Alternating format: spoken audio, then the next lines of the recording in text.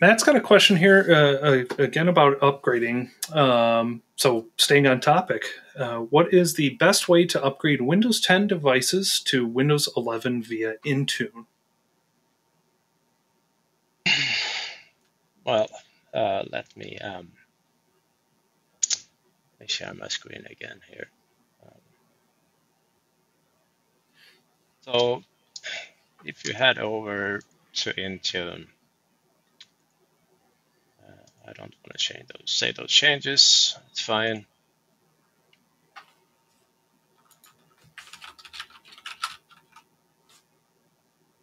And by the way, one of the changes that did announce that is public, uh, speaking of the WP Ninja conference, is that Microsoft is reworking this UI here.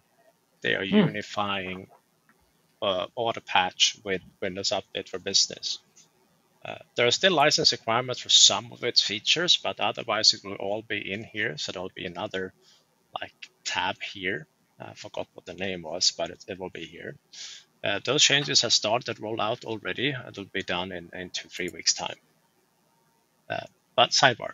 Uh, so for Intune and deploying Windows 11 uh, uh, updates or upgrades to Windows 11, you have to more or less uh, combine this stuff here, which is basically where you tell it what version you want to go to and, and how quickly you want to do it. And you may have multiple of these, uh, depending on what the schedule you decide on doing. But you also need to provide things like drivers and BIOS updates, etc., because it could very well be that the device requires it. Intune doesn't do that. There's nothing built in into Intune that helps you with that. So once you start to do your testing, you may very well find out that, yeah, we have seven models we need to do a BIOS update. So you need to deploy Intune applications that does the BIOS update. You may realize, oh, darn it, I have five uh, models that I actually need to provide drivers for, or that I need to do something with. And that's when you start to build up these remediation scripts and download driver packages and tell this setup to use it. So I've shown this a few times already because we get this question a lot, but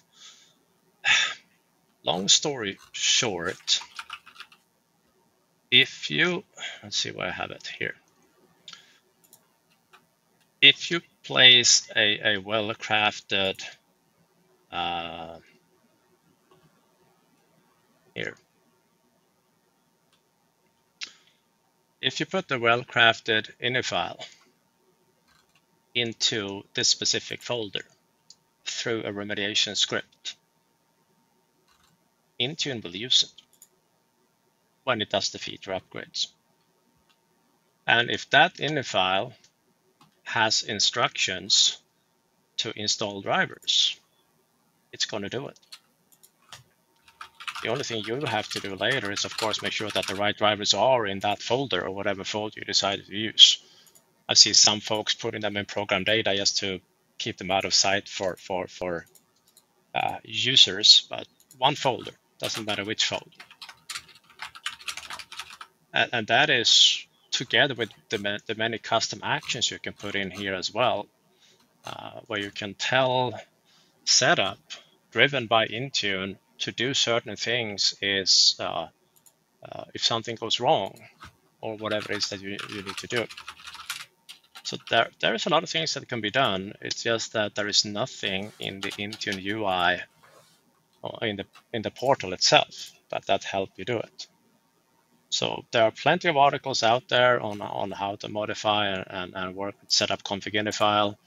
Adam has a good post on it. Trevor Jones has a good post on it. But that's stuff you have to do when, when working with uh, having Intune drive feature updates.